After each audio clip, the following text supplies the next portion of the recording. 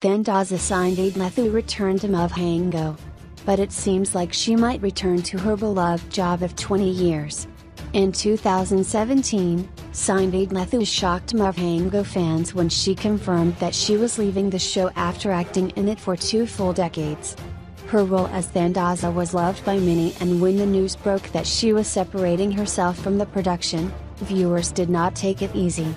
Sindi also confirmed that making the decision to leave Muvhango was a difficult one. I prayed about it and had sleepless nights. Muvhango was my home for 20 years. But it wasn't solely my choice to leave, I felt like it was God's timing. She once told Drum magazine.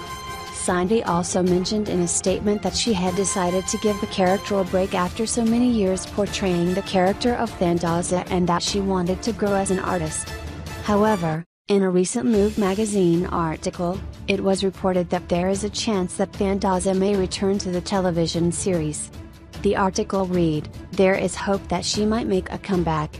Muvhango associate producer, Morish Matal Joan, says that Sindi's exit isn't necessarily permanent, as they have just frozen her character. The actress hasn't mentioned anything about a possible return to the show but has simply said that she is giving her character a break. Do you think she should return to Muvhango in the near future?